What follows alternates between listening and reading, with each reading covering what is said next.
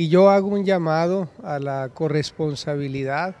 de que nos cuidemos unos a otros. A veces se resalta Culiacán o se da a conocer Culiacán por hechos a lo mejor lamentables, preocupantes, que nos simbran a todos como sociedad. Sin embargo, cabe resaltar que en Culiacán hay gente muy buena, gente muy generosa, gente muy piadosa, de muy buenos sentimientos y creo que eso es necesario que nosotros lo valoremos, lo aquilatemos